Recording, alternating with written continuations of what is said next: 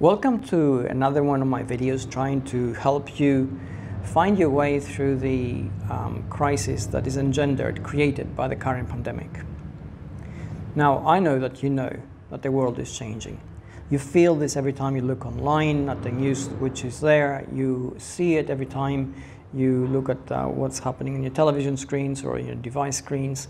And you also feel it when you talk to your colleagues or you listen to even videos like mine Um, global change, change in general, is always there, it's a constant. And in a normal scheme of things, it wouldn't matter. So if there was any other kind of situation, I would say, well, you know, whatever's happening outside our context doesn't matter, it doesn't affect us because every business is driven by the context in which it operates, and that context is unlikely to be impacted immediately, on the short term at least, by what's happening globally. We now know this is not the case here because we don't live, we're not anymore, in a normal sort of set of circumstances. So what we're seeing is systemic failure across the board. We're seeing systems which are no longer fit for purpose. We sense a certain amount of unease. We feel psychological, emotional, and a lot of times practical pressures which the external set of circumstances impose upon us.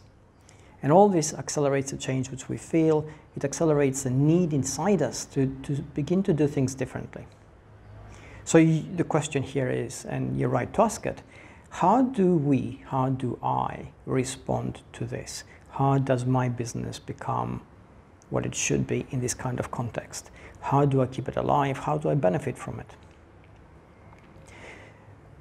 The easy answer is that nobody really knows because there's no magic bullet which will give you an instant success. But this is not entirely true. There is something which you can do, there is something which everyone can do, whether they have a business or whether you're in a marketing team, whether you're putting together a branding message. And that is go down to the basics of what these things are supposed to do.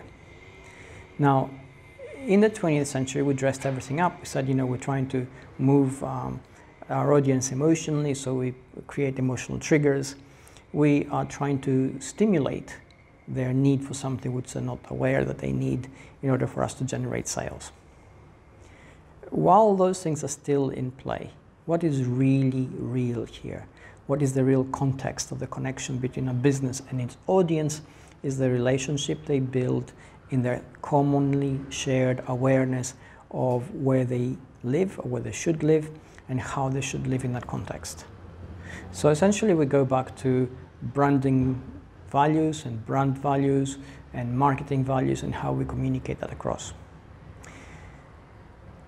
So the answer to what you should be doing right now in order to benefit the most is actually connect with your audience. Allow them to feel that you feel what they're feeling.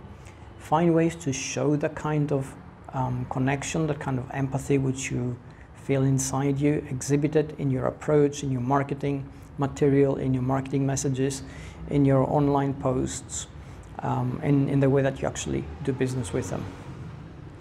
And in that relationship building, don't look for market share, that will come, but look for sustained long-term relationships and a sense of community. At the end of the day, when the uncertainty around us increases, neurobiologically, we are pre-programmed almost to hunker down into groups, into community settings, where we feel that the protection that we seek is generated by the connection we have with others.